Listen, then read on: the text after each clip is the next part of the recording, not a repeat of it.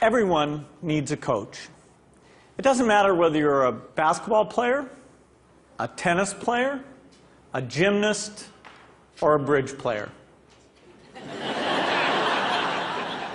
My bridge coach, Sharon Osberg, says there are more pictures of the back of her head than anyone else's in the world. Sorry, Sharon.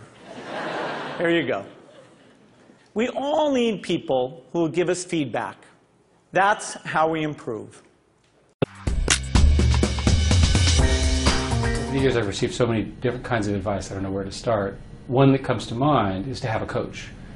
Our board member in 2002, John Doerr, said, You need a coach. And I said, Well, I don't need a coach. I'm an established CEO. Why would I need a coach? Is something wrong? He said, No, no, no. You need a coach. Everybody needs a coach.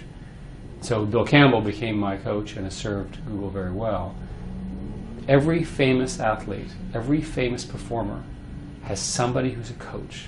Somebody who can watch what they're doing and say, is that what you really meant? Did you really do that? They can give them perspective. The one thing people are never good at is seeing themselves as others see them. A coach really, really helps.